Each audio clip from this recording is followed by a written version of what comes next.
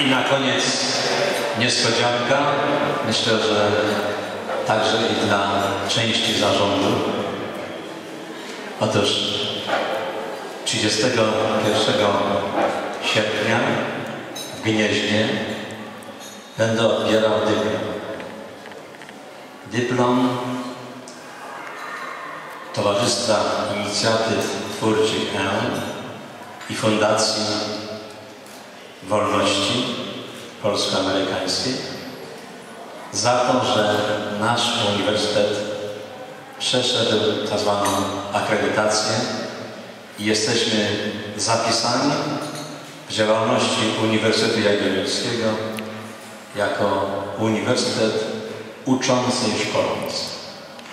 Gratuluję Państwu serdecznie. Dowiedziałem się o tym parę dni temu.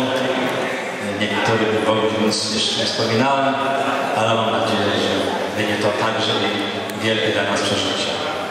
Rok akademicki 2010-2011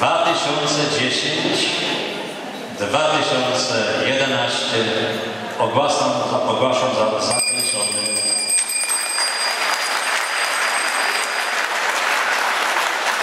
Bardzo proszę